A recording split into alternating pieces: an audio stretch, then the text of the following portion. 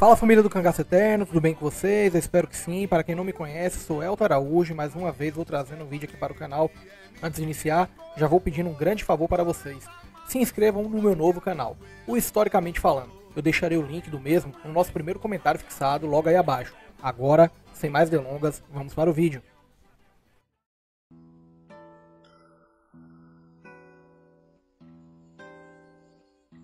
José Antônio do Nascimento soube da informação que tinha um cabo aqui na região, estava baleado. Então ele vem aqui, rasteja, captura Lua Branca. Meu amigo levou Lua Branca, prendeu na cadeia. Lua Branca ficou preso. Prendeu mais quatro cabas, menino. Aí pronto, foi, vai pra cá, vai pra lá, a imprensa caiu em cima. Aí solta o cabo, solta não sei quem, mata o cabo, mata o cabo. Não, transfere, transfere, transfere. Lua Branca começou a dizer quem eram os coiteiros. Ele começou a dizer: meu coiteiro é Isaías, meu coiteiro é, é, é Antônio jo, Joaquim Santana, Coronel Santana. Os coiteiros de Lampião era esse, quem dava munição era esse. Aí abriu a boca, meu amigo. Aí o coronel pegou e disse: Ei, mata o cabo aí, meu amigo. Então inventaram um plano para levar ele para Fortaleza para fazer um depoimento em Fortaleza.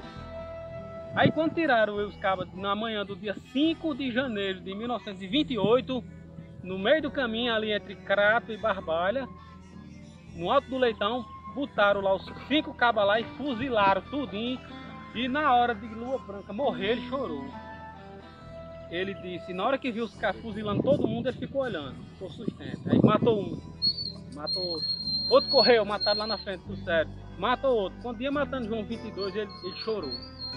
Não, Não, Lua Branca, isso mesmo. 18 anos ele tinha. Quando ia matando ele, ele chorou, ele disse, e agora quem é que vai cuidar da minha mãe? E essa foi a última palavra dele. Fuzilaram ele, jogaram no buraco, jogaram terra por cima. Não foi enterrado vivo, porque os cabas fuzilaram mesmo. Está enterrado lá no Alto do Leitão. Tem um documentário lá falando sobre o Alto do Leitão. Estão convidados também aqui no canal para olhar. Viu? Estão convidados, vocês vão lá. E hoje nós fizemos aqui um material. Ô José Quinto, só uma dúvida aí. Sim. Desses quatro aí que foram levados, tem a história de que um era inocente, né? Foi que era um vendedor de, de banana, de pão. Só porque tava no meio, macho. Aí pegaram, levaram e ele pagou com a vida, né? E aí você fala um pouco, se você puder, óbvio. Nem toda a gente sabe, né? E também a, a questão das irmãs. As irmãs. Deles que moravam em Juazeiro. Juazeiro, isso, é? e Isso, tinha a proteção do Padre Cícero, né? Isso. Foi. Você vê, né? Primeiro, quando esses homens estavam no cangaço, Raimundo mais velho começou a sofrer pressão da polícia em Caririzinho. Lá, ao lado de Caririzinho, não é na cidade, viu? É no sítio do lado. A polícia foi lá e ameaçou esses cabos. Então eles foram para onde? Morar em Juazeiro. Igual o Lampião fez, a família do Lampião foi para Juazeiro. Chegando em Juazeiro, eles ficaram lá um bom tempo morando lá. E os Marcelinos fizeram roubo. Tudo indica que eles participaram é, de um assalto aqui na Paraíba e mandaram dinheiro para Raimundo, que era o mais velho, sustentar o povo. Porque não tinha, não tinha como viver. Então, aí souberam que esse dinheiro chegou nas mãos, um dinheiro de roubo, chegou nas mãos de Raimundo. E a polícia foi lá, prenderam o Raimundo. Pegaram Raimundo e levaram para onde? Para Salgueiro. Ele ficou preso lá, estrupiado o homem, jogado numa cadeia, os cabas jogavam água sal em cima dele, judiava, metia peia, peia, peia, peia, porque ele era irmão de cangaceiro. Quando Raimundo saiu, ele ficou numa depressão forte, forte, e em decorrência disso ele nunca mais teve uma saúde boa e ele faleceu. Aí começou a desgraça. As irmãs de, de, dos Marcelinos se casaram, outros, outros foram-se embora, a família saiu. Quando o bando de cangaceiros foi formado, que houve esse fogo aqui, ainda ficou cinco cabas. Né? Como eu falei de gengibre, gengibre foi-se embora com mais outros cabas. Outros foram-se embora, se juntaram ao bando de Lampião. Sebastião Cancão, que é parente aqui do nosso amigo João Paulo, Sebastião Cancão, também andava com os Marcelinos. Então ele foi para onde? Para Chico Chicote nas Guaribas. Então ele foi para lá. Então o bando se dizimou, mas ficou cinco. De acordo com a história, esses cinco, só, só Lua Branca era cangaceiro, os outros eram meninos de recado. Era Joaquim Gomes, é, era Joaquim Gomes, Pedro Gomes, que possivelmente pode ser até meus parentes, né?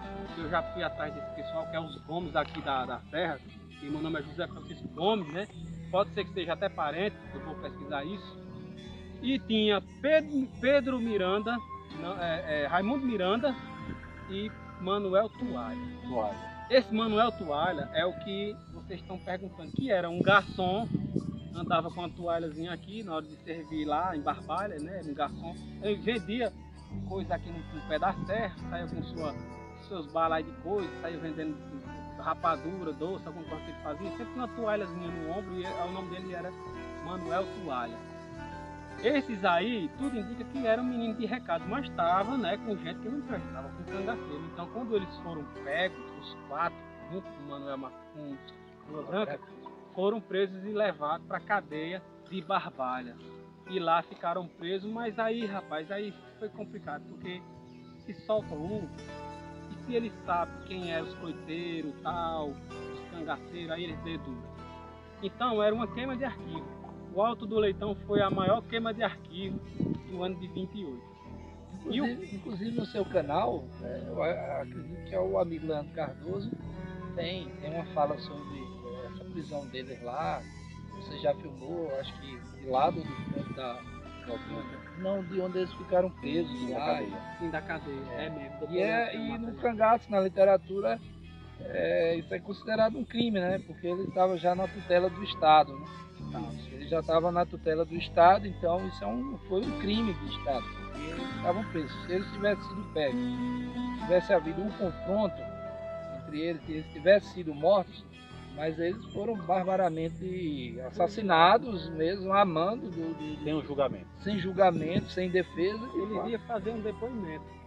Aí imagina aí, a pessoa vai fazer um depoimento e amanhã é fuzilado. Já No começo do dia já é fuzilado. A, a minha dúvida é que a gente sabe que essa morte dos Marcelinhos foi um- uma queima de arquivo, mas de onde partiu essa ordem? É, é isso que fica a incógnita, porque a gente não tem na literatura. Nós não temos porque as pessoas têm medo de dizer e de escrever. Mas quem eram os potentados da época? Eu vou dizer. Isaías Arruda, Coronel Santana.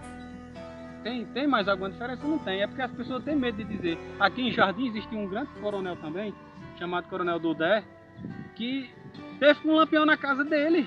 Era prefeito na época. Era prefeito. As pessoas têm medo de dizer o nome dos coronel. Pra quê, meu Deus? Já tá com 100 anos isso. Vamos parar com isso. Então, as pessoas têm medo.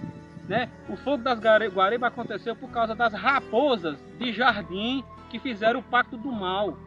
Quem eram as raposas de jardim? Ninguém diz o nome, mas diz as raposas, né? Que doutor Napoleão Tavares Neves escreve, mas não diz o nome. Então quem era?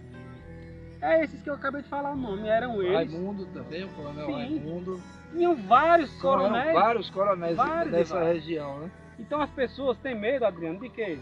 Ah, não, eu- eu trabalho, não, não sou concursado. Se eu falar do avô de não sei quem, que é um prefeito, que é não sei quem, pode ser que ele me atrapalhe no meu, no meu serviço. Ah, mas eu conheço não sei quem que pode te achar ruim, porque eu gosto muito dele, vai perder a amizade. Vamos parar com isso, homem. O cangaço já passou, já é história. A história nossa tá apagada por causa disso. Agora vá nos Estados Unidos, que você vai ver um trilhão de filmes de faroeste, e lá o povo lá faz filme todo ano de faroeste, porque eles valorizam lá. Aqui nós não valorizamos as mortes, não. Nós estamos aqui fazendo um material histórico, não é para valorizar lampião, não. É para contar as vítimas, que nem eu falei aqui com o Vieira que foi sequestrado aqui, ó. Vamos valorizar nossa cultura, rapaz. Para ser, pra ser sincero, aqui começou o ano de desastre de lampião. Não vou dizer que foi por causa da morte de Pedro Vieira, não. Mas o, a- o azar do ano foi, foi em 27 para lampião.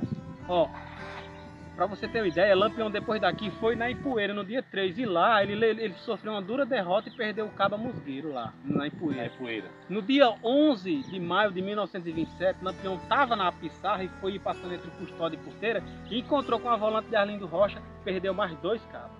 Houve no, fogo do, no famoso fogo do Custódio, que nós temos material aqui. No dia 15 de maio, três dias depois do fogo da- do Custódio, Lampião vai em Iraúna, na Paraíba, e tenta invadir lá, novamente sofre outra derrota. Já são três derrotas. E para fechar o ano com chave de ouro, ele vai para Mossoró. Aí E Mossoró lá escorraça, escorraçado.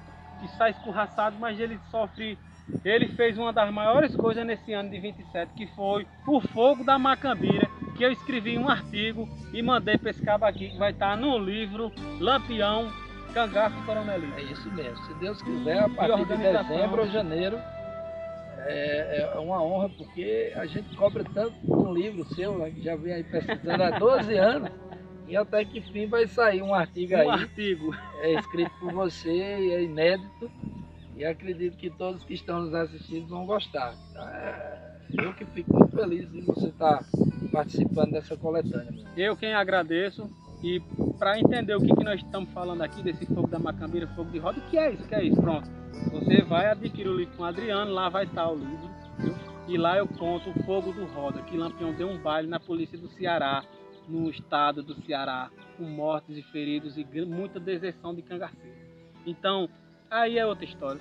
Nós não podemos se aprofundar tanto porque aqui o material é aqui. Se a gente for falar do roda, já é outra história. Mas fale com o Adriano, entre em contato com ele. Vou botar o número aqui embaixo.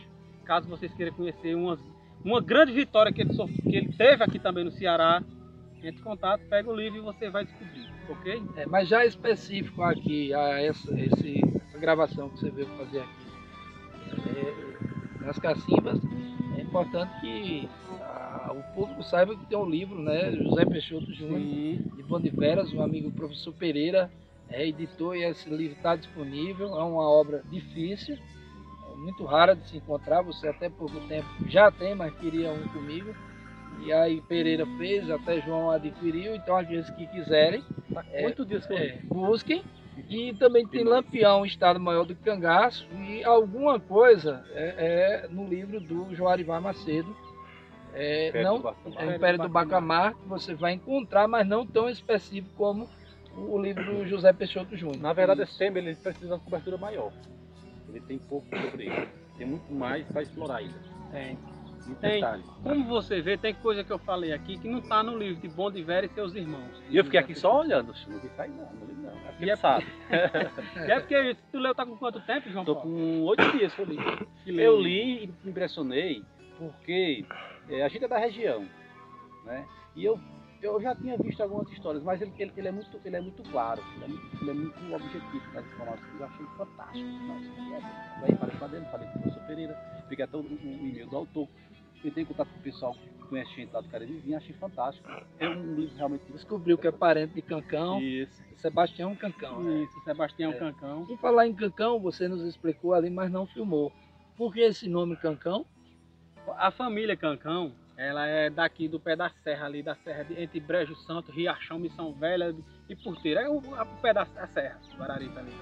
E durante a seca de 15, a família escapou matando bicho nativo, fazendo caça. Né? E, e eles não perdoavam não. Se eles fossem no mato, na volta, eles traziam pelo menos um cancão. Então eles quase que acabaram com os cancão lá da Chapada do Araripe. E essa família ficou conhecida como os cancão. E é a família dele, né? O, o cancão é um ave do, do nosso cerrado aqui e a gente não costuma matar para comer. Na É. minha infância a gente matava passarinho, né? É. Hoje a gente não faz mais isso, até pela questão ecológica. Mas a gente matava sabiá, sabiá não, sabiá não, matava Bete é, bem- é, geralmente Rolinha, rolinha, não lembro mais, tempo, Nambu. Nambu, Asa né? branca. Nambu, asa branca, mas cancão a gente matava não. Por quê? Porque o cancão, ele é tipo um acuã. É, isso. Acauã é um passarinho de mau agouro. Quem é que vai comer um passarinho de mau agouro? Porque quando no sertão um caba vai matar o outro, ou vai ter uma grande briga de família, ou vai acontecer uma coisa muito grande, os cabas dizem, "Ei, bicho, o cancão vai piar. É, Sabe por quê? isso. Porque é uma ave de mau agouro. Quando a, a, a canta, morre alguém. E tem É. o rasga mortal que faz. É. Que diz que tá rasgando a mortalha Tudo da nossa infância, né? das nossas crenças, das nossas mitologias, digamos assim. Fazer uma ênfase que nós estamos em terras indígenas. Aqui o- os, os cariris, os monós, os chá, é? Chocós, Chocós, Minaús, Minaús. como está muito bem escrito no livro de Abelardo Parreira, né? Cangaceiros, fanáticos e canga... não, canga... sertanejos e cangaceiros, cangaceiros, né? é. Ele cita, né, que essa região aqui houve muita, muitas etnias, né? E a Adriana acabou de falar e eu me lembrei. mesmo. Que, que são poucos indígenas, né? estudadas É. e pouco conhecidas. E pouco registradas. E vamos aproveitar o nosso clima de alegria, porque é um clima pesado fazer o fogo das cacimbas e nós vamos se despedir com essa alegria toda de vocês, viu? Vamos comer aquela capoeira. Pronto.